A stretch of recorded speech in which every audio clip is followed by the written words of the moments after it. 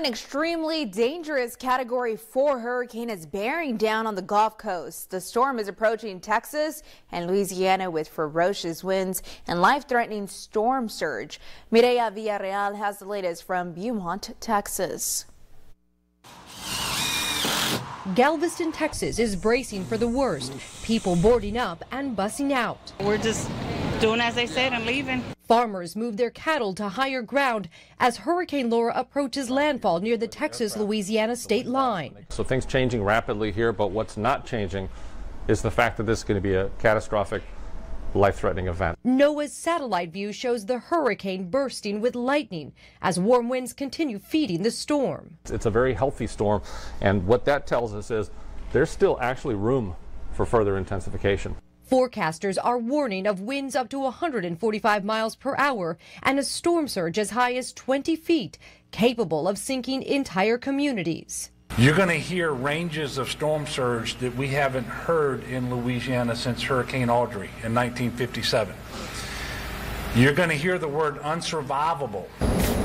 In southern Louisiana, the Duffy family filled sandbags to protect their home from rising water. It's possible that it could go into doors, garages, whatever. So until the pumps catch up, you always have an issue with street flooding.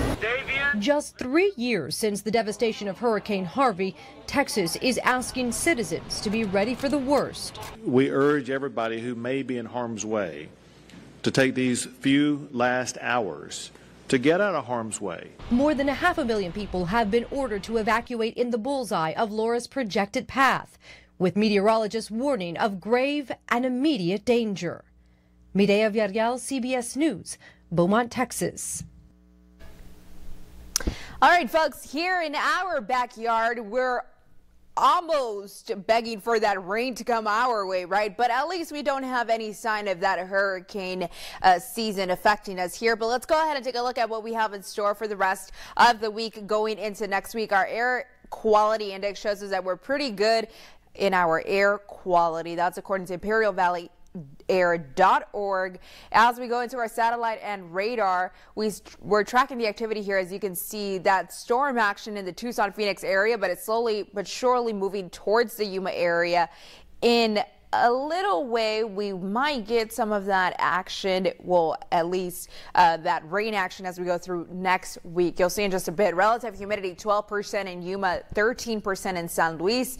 As we head into our highs today 114 in Yuma 114 in YPG all across the board in those triple digit temps 113 in Yuma and 112 in Quartzsite.